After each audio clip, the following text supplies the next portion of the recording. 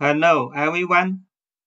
Welcome to my video tutorials for single-cell sequencing data analysis. Today, I'm going to show you how to use the correlation plot package. The online correlation plot package was created by Tianyun and uh, William. So here is the website for their online tutorial. If you use the NIST package for your data analysis, please acknowledge the authors who created this online tutorial and cite their original papers in your publication. Here, I would like also to thank the authors for their excellent work to make this package available for our data analysis. So I'm converting this online tutorial to video tutorials. Then you can see how the analysis is performed in real time.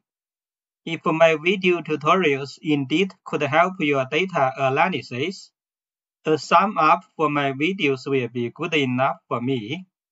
Please also subscribe to my channel and share my videos with your friends. So now we can go to R and start the demonstration. So first we need to load the package plot. Then we are going to use the mtcars data frame for the demonstration. So mtcars is the demonstration data frame for the R package. So we can run the name for the mtcars to have a look at the data set. Let's run. You can see here, down here, we have the row names for the car brand and each module, and we have the column names for the different parameters for each module. So let's have a look at what the abbreviation stands for. If we put a question mark before the mtcars, we can run it again you can see from the help windows, you can see the information for this data set. Here is the description for the data set, and we can have a look down here at the abbreviations. MPG stands for the Miles per gallon. Then CYL is the number of cylinders. Then you can see other properties down here, we can use the cor function to calculate the correlation between each properties for all the cars. So cor is a function from the RStats package. By default, we will calculate the Pearson correlation. So let's calculate the correlation and name it as M you can see here we have a data frame for the correlation between different properties for the cars. So now we can use the corrplot function to plot the correlation. First, we can just use the default settings for all the parameters. So let's run. You can see we generate a correlation plot in the plot window. So here is the full plot. You can see the car properties. On the left hand side for the lower part of the plot and also on the top for the upper part of the plot.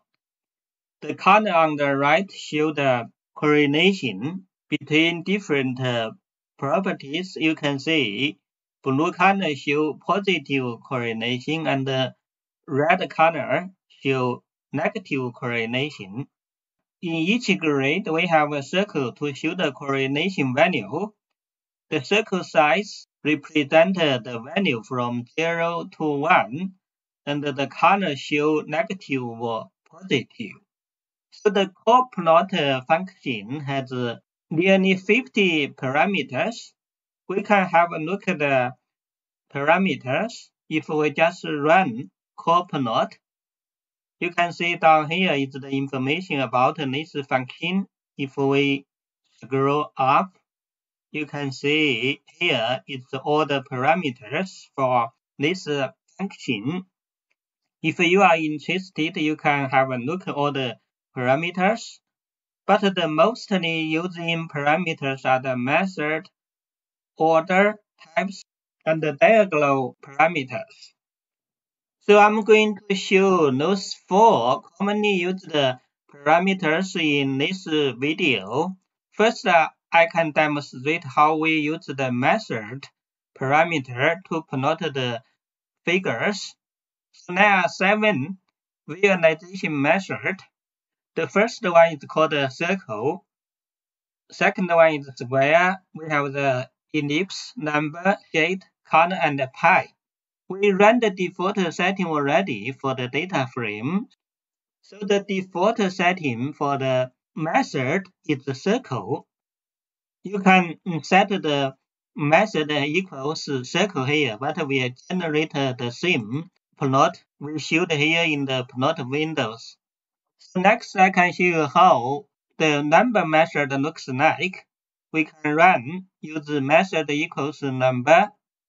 You can see we generate a plot to show the numbers in each grade. Let's zoom in. We can see the numbers better. You can see now, in each grade we have the number. Negative numbers are in red color and the positive numbers are in blue color. So next we can run the method the square. Let's run. You can see here we show square in each grade. And once again, the color represent the negative or positive and the size of the square show how big is the correlation value from 0 to 1. We can try the ellipse method. You can see this is how the ellipse method looks like. We are going through all the methods, then you can see which one is your favorite method. For me, my favorite method is the color. Let's run. You can see the color represented the positive and the negative again. You can see from the white color to blue color, it represents the positive values. And from white to red, it represents the negative values. And also you can use the method shade. This is how it looks like. I don't really like this one. Then we can also run the method pie. You can see now in each grade, there is a pie to show the correlation values. Once again, white to red color represents negative correlation and white to blue color shows positive correlation. And the pie show how big is the value for both positive and negative correlation. So I showed you how the plot looks like if you use a different method. Next, I'm going to show you the orders. We have five orders you can use, the original alphabet, AOE, FPC, and hclust. So again, the default setting for the order is original, if we run original, you can see we generated the, the same plot as the corrplot M without any argument. So that will be the default settings for all the parameters. So the order here, you can see the original order is the same order as the data frame. We have the first column as the MPG, the second column as CYL, until the last column. So they are the same order as the data frame. If you want to uh, use different order, you can use alphabet. If we run order the alphabet, let's run. You can see now the order was arranged according to A, C, D, then G, H. The last one is WT, is the weight for the car. You can also use the other orders. For example, the AOE. Let's run. AOE stands for angular order of the eigenvectors. the online tutorial showed you how to calculate the AOE order. Let's detail in this part. You can see. Let's find it. Yeah, it's here. Reorder uh, correlation matrix. They have the details. How to calculate the AOE order. And the next one will be FPC. FPC stands for the first principal component order. So let's run the order as FPC. We can run. You can see we change the plot. You can see it place all the negative coordination together in this area. And also we can use the H cluster as hierarchical clustering order if we run. You can see we change the order as H cluster. If you use the order as H cluster, the corrplot function can draw rectangles around the plot. This is only for the H cluster order. For example, we can set the order as H cluster and add two rectangles on the plot. Let's run. So you can see where the two angles to enable the positive correlation between different properties of order class. You can also set uh, other parameters to show the style of the rectangle. For example, we can use the blue color for the rectangle and also use the line width as 2. So let's run it again. You can see now we changed the line color for the rectangle as blue. Here we use the method as square and we set the diagonal as false. Then we didn't show the squares in the diagonal box. So next uh, I'm going to show you how we set the layout types for the plot. There are three layout types, full, lower, and upper. Once again, the default setting for the layout is full. If we run the default setting, just the corrplot M, you can see we generated the default plot as circle. And here is the full plot. If we run the function as type equals full, we will generate the same plot as the default settings. Now if we set the type as upper, let's run. You can see we only show the upper part of the plot.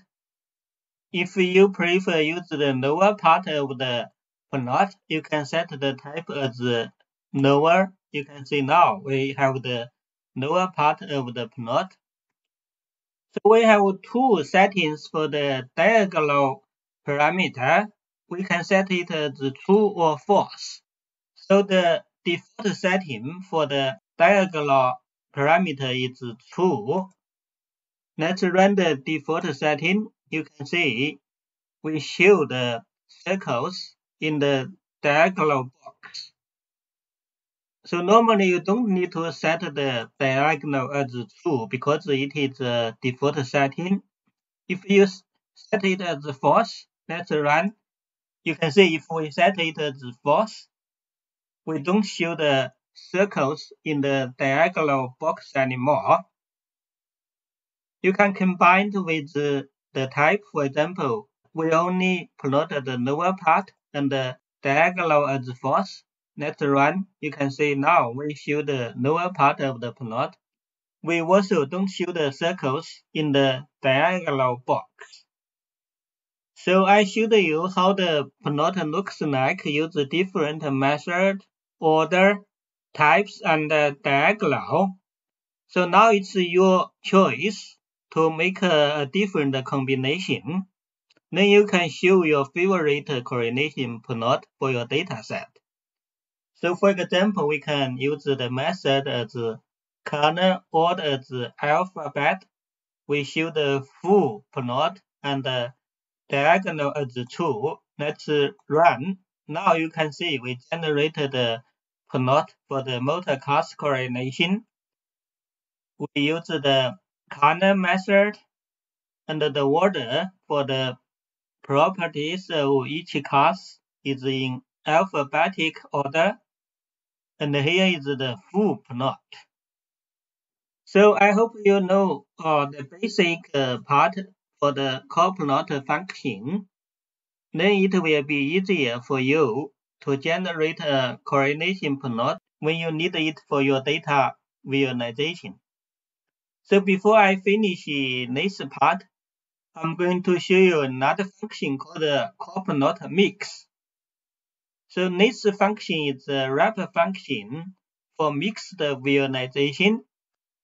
For example, if we run the corrplot mixed default setting, let's run, you can see the default setting for corrplot mix function show the lower part plot as numbers and the upper part as circles. So you can change the settings for example, we can use the lower part as square and the upper part as ellipse. Let's run. You can see now we change the lower part as square and the upper part as ellipse. Because we show different method in the mixed functions, so we don't show the plot in the diagonal box. We can try one more demonstration. We can use the lower part as shade, upper part as pie, and also we can add the order parameter as hclust. Let's run. You can see now the method for the lower part is shade, and the method for the upper part is pie. Because we use the order as hclust, you can see most uh, negative correlation part is clustered in this area will be the same for the upper part, the pie method. So you can see the correlation plot package is very easy to use. It is very useful for data visualization. You just need to remember different method types, orders, then you can make a combination as your favorite choice to plot your dataset. Okay, I'm going to stop from here. Hope to see you in my next video tutorial. Please don't forget to subscribe my channel if you haven't to do so.